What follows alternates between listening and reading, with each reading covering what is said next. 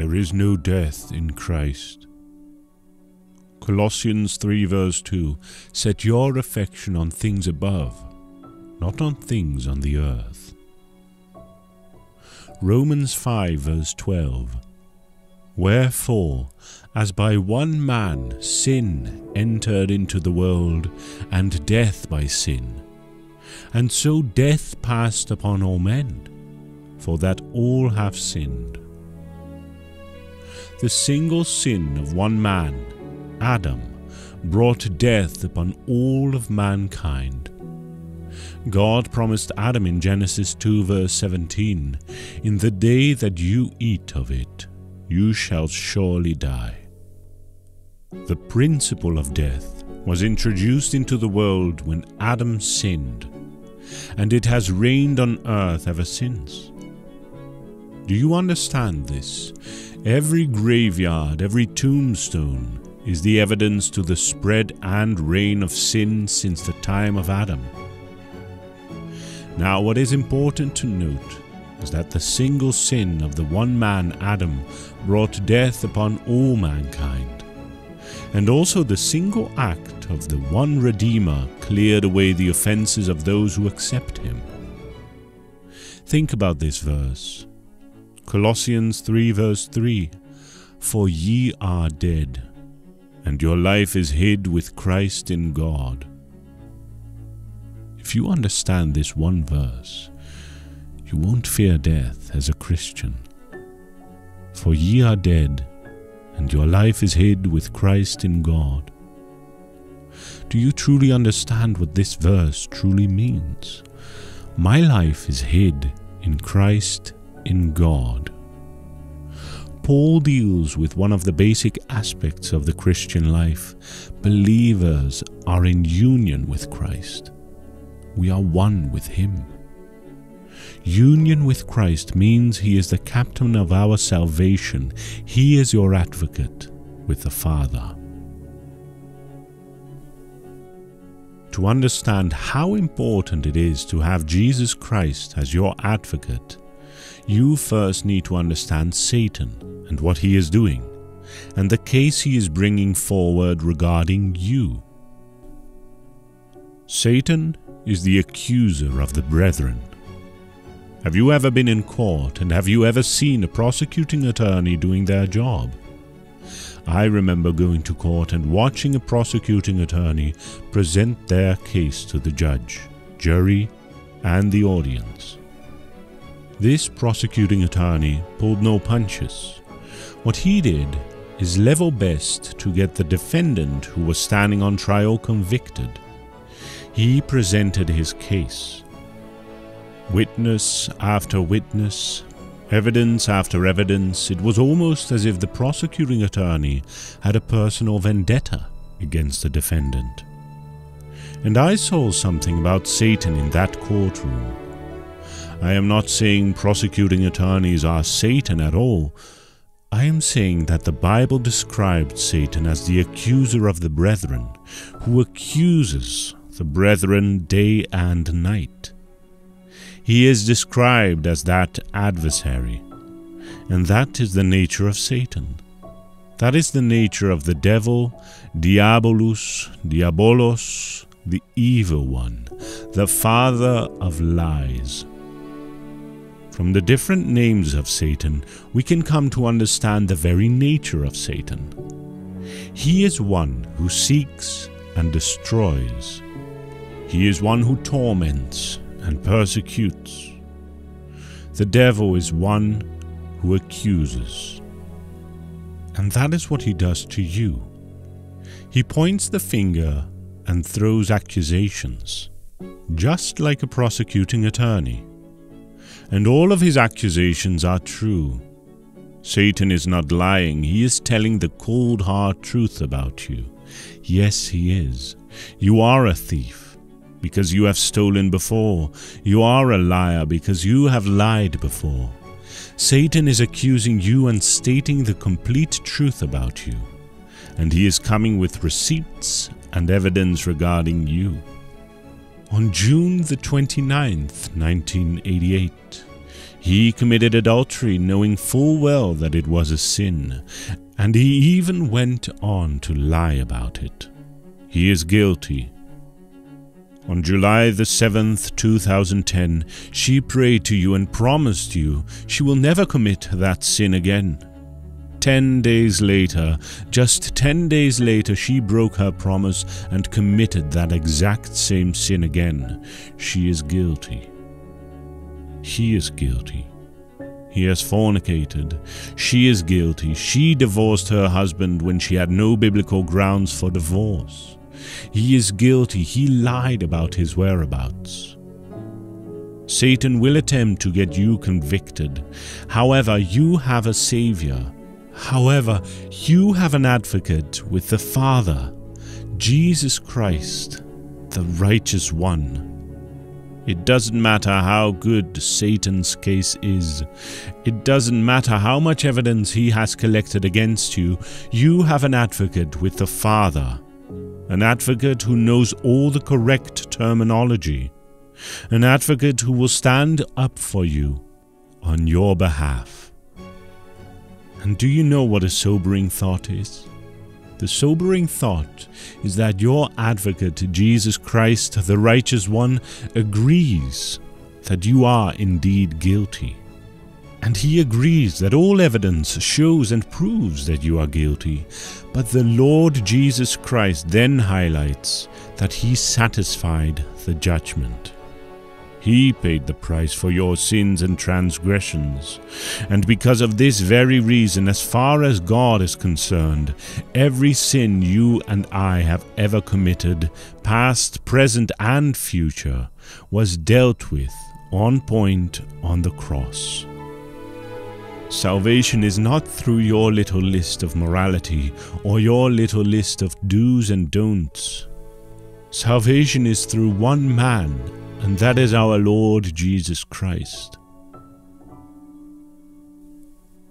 For the saint in God, born again believer, your life is hid with Christ in God, and there will come a time where you take off the corruption and put on the incorruption.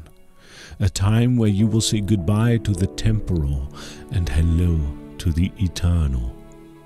There will come a time when God will call you and me home. And this flesh will fall back to the ground from whence it came from. But when this happens, that is not the end for a believer, because your life is hid with Christ in God. And the Lord Jesus Christ said, He that believeth in me shall never die. These are the words of your Lord and Saviour Jesus Christ.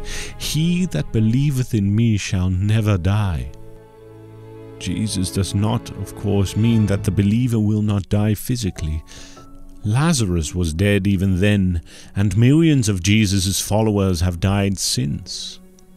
But he means that he will not die in the sense in which death has eternal significance.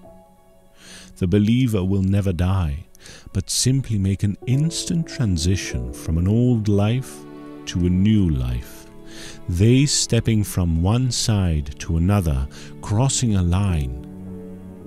Those that believe in Jesus Christ appear to die, but yet they live. They are not in the grave, they are forever with the Lord. Death cannot kill a believer. It can only usher them into a freer form of life. We tend to look in the mirror and think that this body is the real you, but that is not the real you at all. Your spirit is the real you. This body is dust and it will fade away, and if you look at the wrinkles on your face, the sagging of your skin, the pains and aches in your body are all signs that show that this body is fading as it is, and that this body will one day go to the grave. But this body is not your life. Your life is hid in Christ, and death is something that a lot of people fear because death is something that has haunted and stalked mankind. But as a child of God, you need to know and remember that your life is hid with Christ in God. The moment you die, you will be received into the hands of the Lord, and Jesus will confess you before his Father and all the holy angels. This is a theme we see in the Bible. Jesus confessing individuals before God the Father and all the angels in heaven. This genuinely brings tears to my eyes because I don't think we have the words or even the expression to convey the emotions of how you will feel. Jesus, the advocate, confessing you to all of heaven. Matthew 10, verse 32. Whosoever therefore shall confess me before men, him will I confess also before my Father which is in heaven. Just imagine how moved just imagine the emotion you will feel. Jesus regarding you as one of his sheep. Luke 19:10 says, "For the Son of Man is come to seek and to save that which was lost." My sermon today has 3 points. 3 points which can be derived from this one verse. Point number 1. Who is the Son of Man? Point number two, where did the Son of Man come from? Point number three, what did the Son of Man come to earth to do? Point number one, who is the Son of Man? The Son of Man is a title for Jesus Christ, which is rarely used outside of the Gospels. The title Son of Man is referenced four times outside the Gospels, according to my knowledge. In Acts 756, Hebrews 2 6, Revelation 1:13, and Revelation 14:14. The common understanding is that the title Son of God highlights the deity of the Lord Jesus Christ, which it does, and that Son of Man highlights the humanity of the Lord Jesus Christ. He is the Son of Man. That is a human being, and he is the Son of God, in that he has always existed as the eternal begotten one, who comes forth from the Father forever. He always has, and he always will. He is the second person of the Trinity, with all the divine nature fully in him.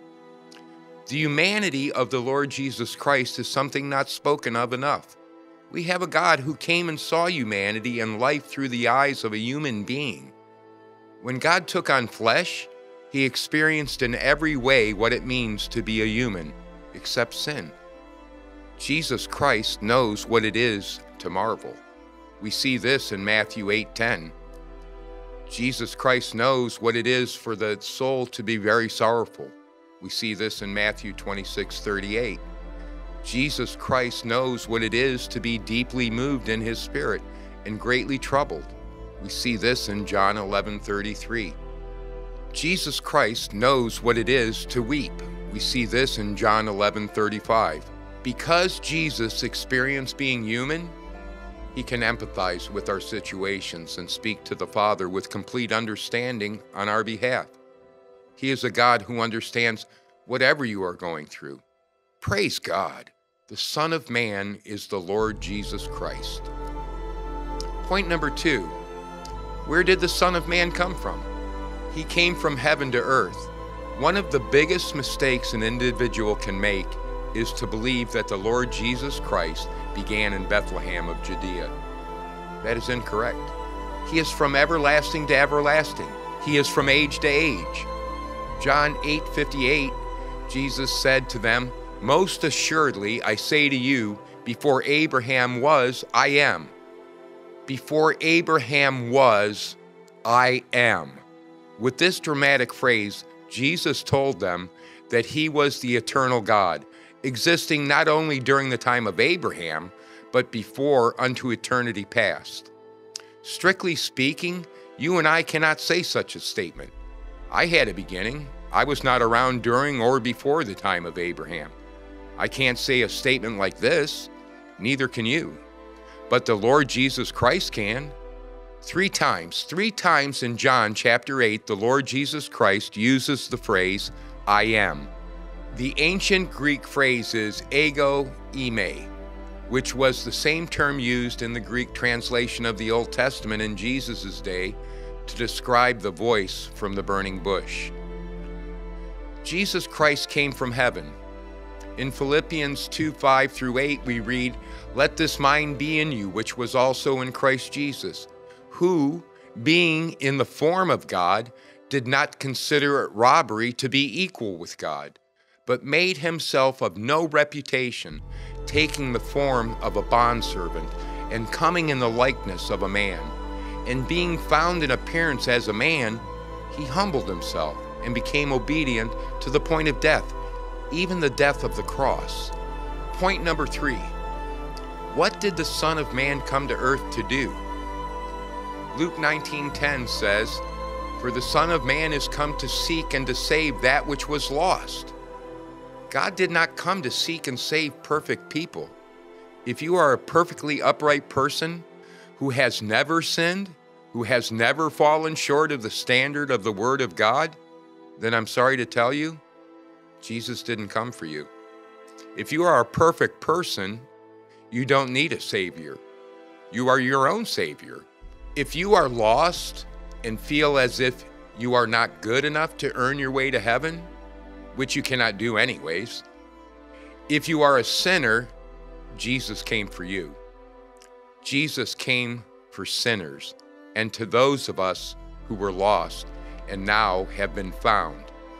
It is your duty to continue the mission of our Lord and Savior. We are to seek and to save, seek and to save, even if it is one person or friend that we bring to the glorious light of the gospel message. That is amazing. Let us have a hunger and a thirst to point people to the Lord Jesus Christ.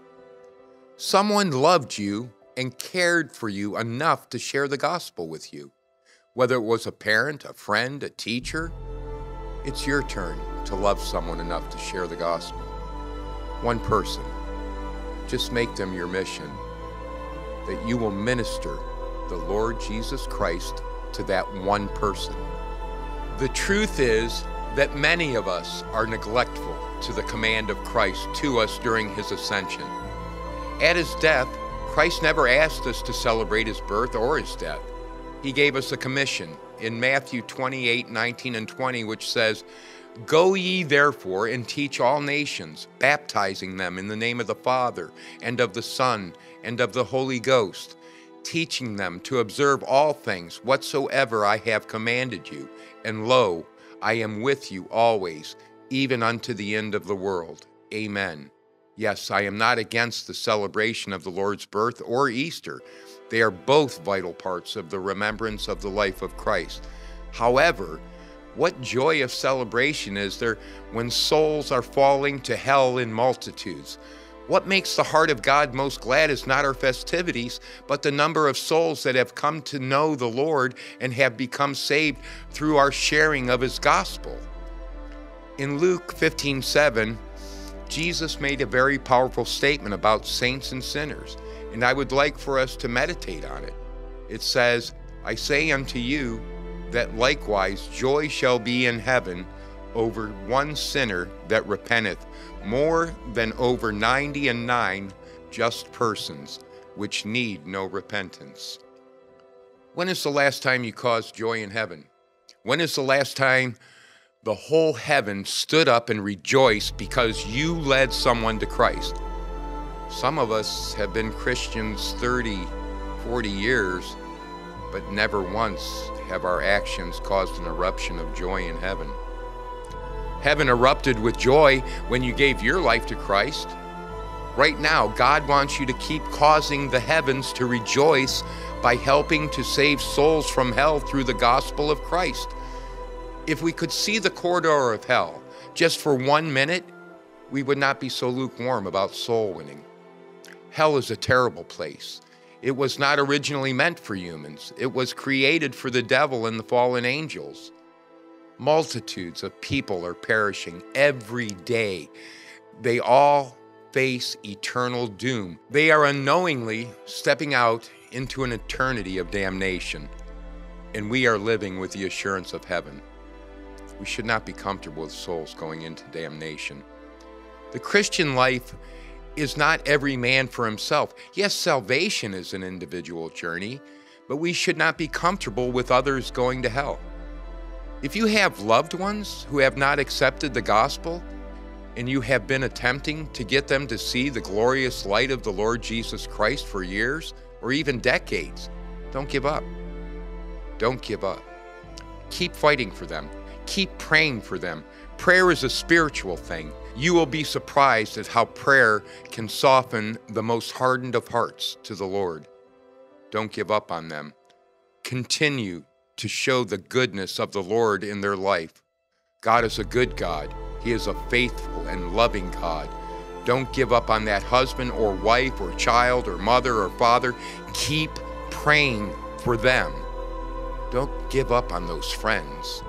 Keep praying for them. When I became a pastor, the way I viewed the world changed. Instead of seeing people, I began to see eternal souls, knowing that they will always exist in one of two places. Ephesians 2 8 through 9 says that it is by grace that we are saved. Our salvation is not of works, otherwise, we would boast in our self righteousness. If you are saved by grace, then you do not merit it. Therefore, heaven places a demand over our lives to arise for the salvation of others. This gospel of the kingdom must be preached, and for those who do, there is a crown in heaven waiting for you. This is the assurance of your reward.